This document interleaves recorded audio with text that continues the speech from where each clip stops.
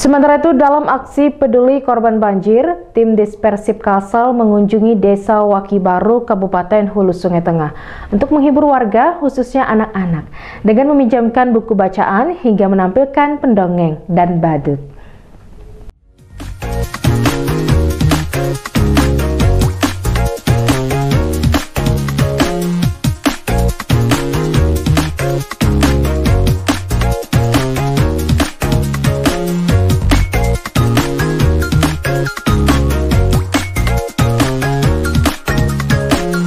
Setiba di kota Barabai, tim Persib Kalsel Peduli dipimpin Bunda Nunung mendatangi markas Kodim 1002 Barabai dan disambut langsung Dandim Letnan Kolonel Infanteri Muhammad Ishak Haji Baharudin.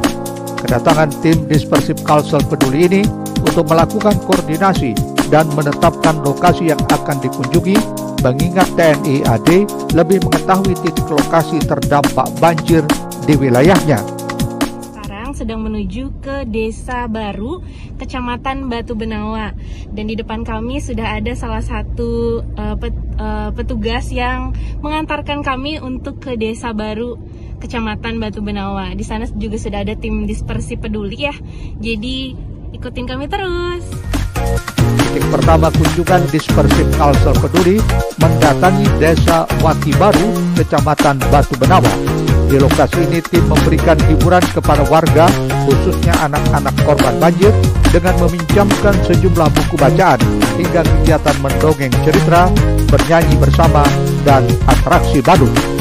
Hari ini akan ada layanan perpustakaan keliling berdongeng dan juga badut yang akan datang dengan kostum dan karakter yang berbeda dan dua tim biru dan juga orange akan datang ke dua desa, Desa Alat dan Desa Arangani di Kecamatan Hantakan. Aksi tim dispersif ini ternyata disambut gembira anak-anak dengan menikmati hiburan yang disuguhkan.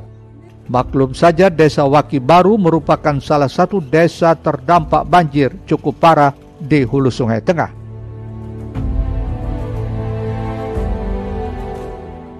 Erwin Yudanwari, Banjar TV.